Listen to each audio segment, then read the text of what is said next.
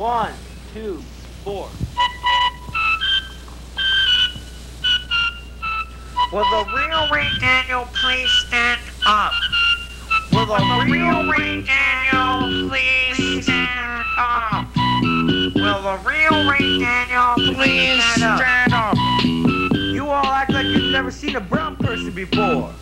Just like our clique, smoking bunk and doing crack in 94. And everyone saying uh. the Forbidden Zone, rip out the hookah and more. The only difference is cluckers on TV, La Llorona, making them G's. And still hanging out being baked. And selling out just like we did back in the day when we were in Sunset Foothills. But, straight up, Choya, we just keep going. We're strong. That's the way we are. We grew up. So one more time, let me tell you. It goes. Yes, I'm really crazy. It sounds real crazy. All you other lame crazy are just put those spades. So all the real Ray Daniel, please smoke dope. Please smoke dope. Please smoke dope. Yes, I'm really crazy. It sounds real crazy. All you other lame crazy are just put those spades. So all the real Ray Daniel, please smoke dope. Please smoke dope. Please smoke dope. All you TV acts are scared. Cause you know. We got the top ratings on this air. The only difference is we've been doing this for 13 years. Marty running around, grabbing you know what. But he's so cute though. and that's why we say Ray, Rob, Roach, Paul, Stoney, Louie, Rudy, even Cliff, Coy with the mafioso, and all I forgot, I'm holding a 40. I'm the real crazy, all you other lame crazy are just putos faded, so want the real Ray Daniel, please smoke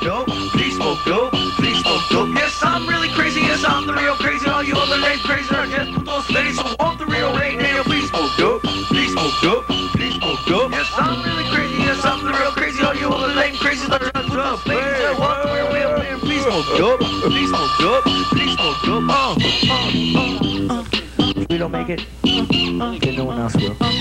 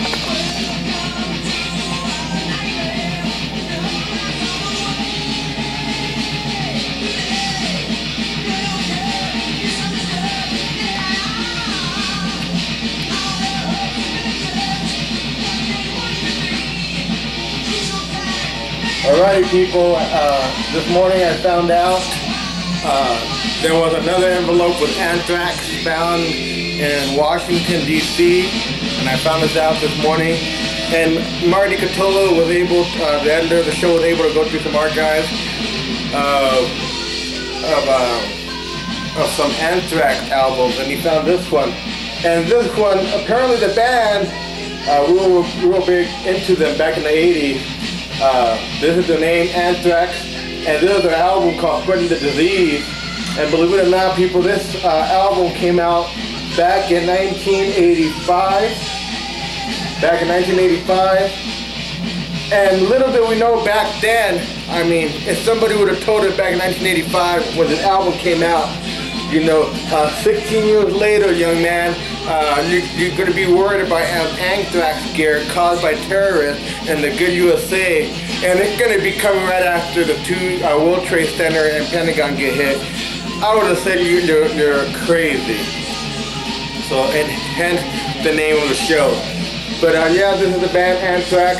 I was real big into them in the 80s. Uh, believe it or not, people, I'm a product of the 80s. I went to uh, high school in the 80s, so that makes me an old geezer. But uh, it's kind of scary now. That's four states that uh, got uh, anthrax envelopes. And to me, people out there in La La Land, that's four states too many. Um, it's like a bad, bad Tom Clancy novel come to life.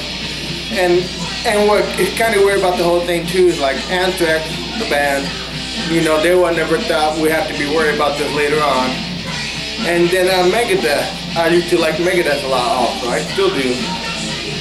But uh, they used to have a song called uh, Holy War, and an album called uh, Rust in Peace, which is my favorite album by the way, came out in 1990. And you know, they had that shit down back in the day, in 1990, the same year Iraq uh, invaded Kuwait in August of 1990. So Anthrax and uh, Megadeth, they knew what was up all along. It was just the, the mentality back then. I'm sorry if I'm doing that. Um, the mentality back then in the U.S. that those things, that those terrorist attacks were incomprehensible, and that's why these bands were able to write about these songs and name albums after diseases.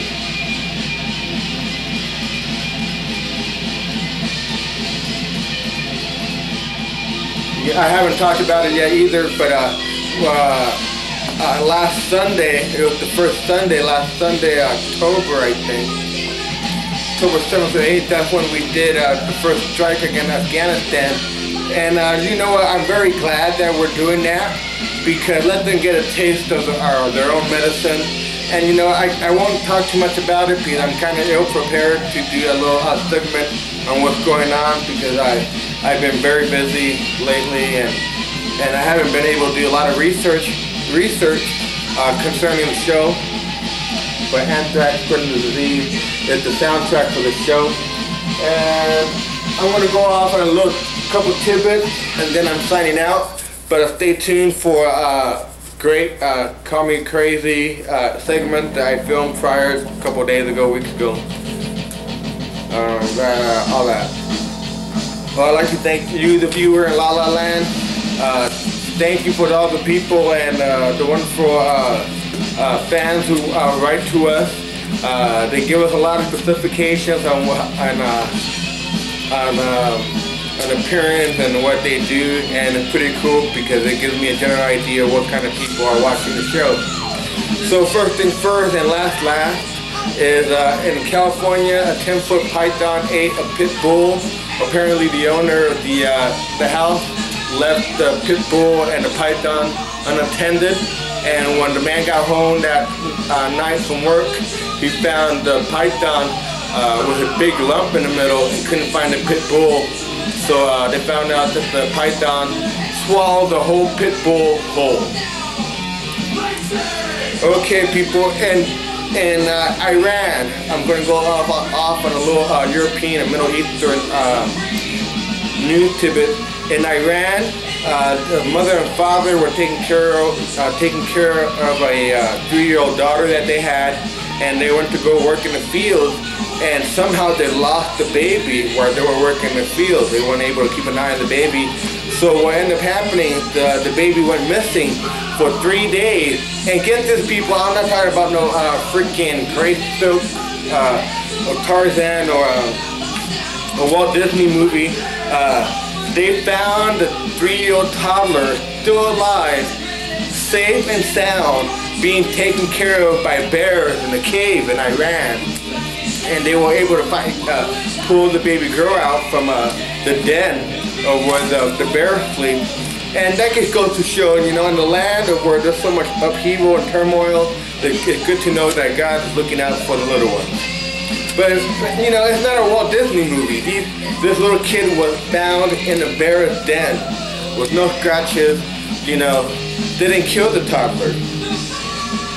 Alrighty, alrighty. Okay, people, uh, there's a lot of backlash in the U.S. and other countries, including Pakistan, uh, Indonesia, uh, Bangladesh is having their own problems with uh, uh, anti-U.S. Muslim fanatics also. So what they're in turn doing their own kind of propaganda, they've been uh, spreading these posters of Bert from Sesame Street fame being hauled away by uh, uh, Bin Laden uh, commanders, including one of them, Bin Laden. And they're, apparently very popular in those countries. Is like I said, is Bert from Sesame Street being hauled away by a Muslim rebel, Bin Laden rebel. You know, it, now it's getting all fumble and jumble. I'm gonna have to come back with you with more research. But that's what's going on. They're using a Sesame Street character to show the world that they're gonna kick our ass, which I doubt is gonna happen. Okay, people, here's a here's a, a sick thing in Switzerland. Uh, uh, no, I'm sorry, in Sweden. I'm sorry, Sweden. This family sat down at night to watch the, the television and enjoy the, the show, and they bought uh, a bag of uh, they had a bag of chips.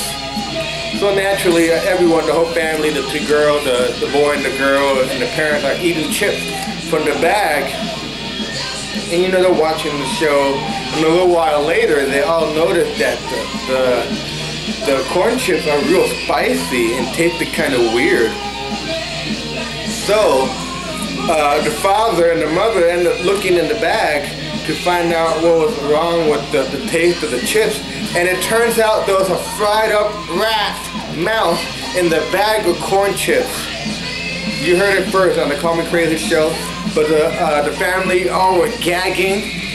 And they said the, the, the mouse was already in the bag of the corn chip, already dried up and fried. It was fried up and then it dried out. Ain't that some, that's some sick, I'm sorry, I'm gonna have to say it's some sick shit, you know. You know, I just hate to think that I'm eating my Dorito Cool Ranch or whatever, and you know, and I open up my a bag and I find a dried up mouse that's enough to make me get go uh, postal on on, on uh, people who are responsible for that. So I wanted to let you people know about that. And one first thing first and last is last. Uh, in Pakistan, uh, a convicted murderer he, uh, and his accomplice, the guy was around, uh, I guess, late 30. Uh, he had an accomplice uh, who was 14, a helper, and these two were serial killers in Pakistan. And the older man, with the help of a 14-year-old boy, were able to lure uh, 100 kids to the death, strangle them, chop them up, and then boil them in, in uh, acid.